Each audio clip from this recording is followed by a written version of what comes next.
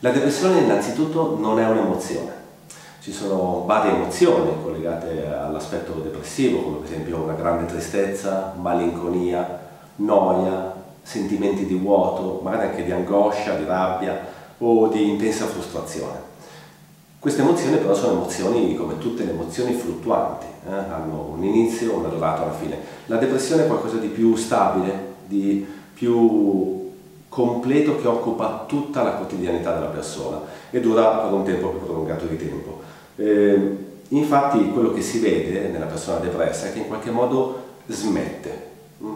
eh, interrompe molte delle sue attività, eh, rinuncia a fare progetti, rinuncia a essere creativo, rinuncia a creare, in qualche modo interrompe buona parte o riduce al minimo quelle che sono le sue normali attività magari mantenendo solo piccoli aspetti, come magari continuare a mantenere il lavoro o alcuno, alcuni rapporti significativi, eh, molto ridotti, ma eh, l'aspetto fondamentale al di là dei sintomi che sono visibili su qualsiasi sito internet, mettendo sintomi depressione, quello che noi vediamo è che la persona smette, riduce.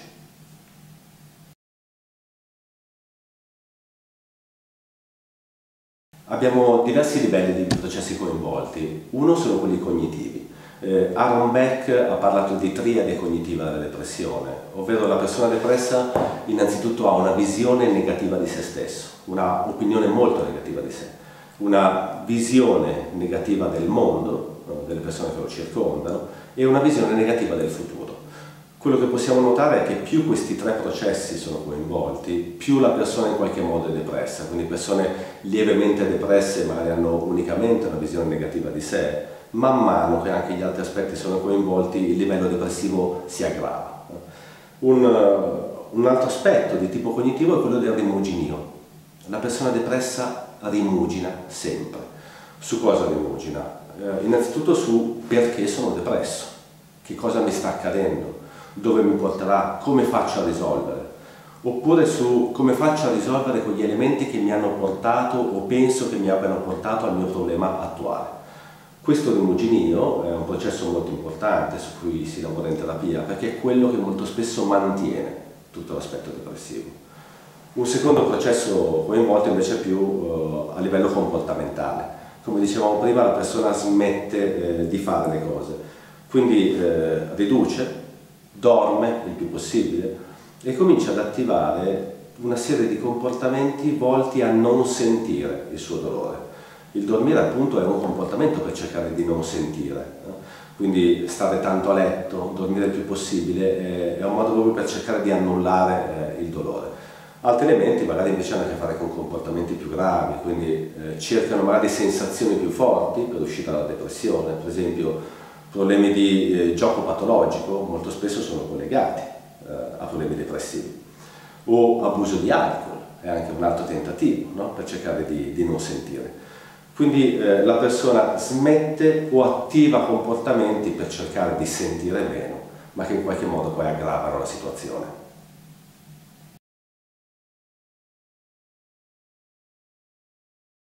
Processi cardine sono tre. Uno, l'attivazione comportamentale, quindi riprendere quelle attività che la persona aveva interrotto.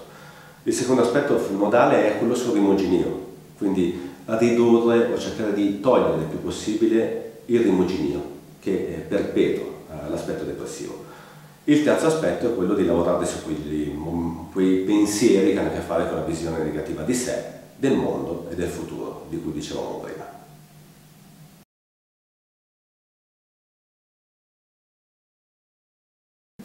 Eh, purtroppo sì, l'elemento delle ricadute è molto frequente, eh, tra l'altro si vede che chi ha avuto un episodio depressivo ha x probabilità di averne un secondo, chi ne ha avute due ha più probabilità di averne un terzo e chi ne ha avute tre più probabilità ancora di avere un quarto eh, episodio depressivo.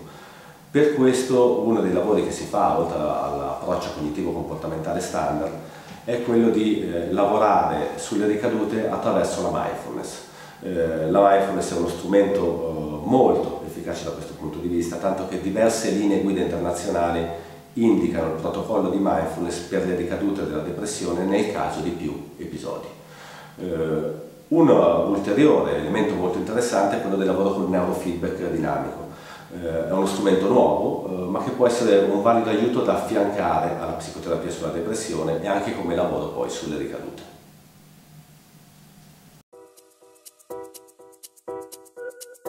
Thank